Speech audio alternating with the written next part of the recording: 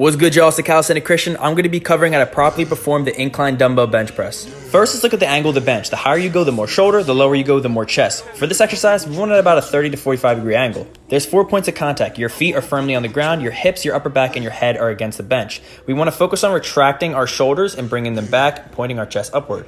To safely pick up the dumbbell, you can do it two ways. Put one hand on your knee for support, or if the dumbbells get too heavy, I recommend you do this gorilla stance pickup. Now that the dumbbells are at the edge of your knee, you want to avoid kicking back as you come back because you can actually really damage your shoulder there and tear something. Instead, kick up first and then lie back down.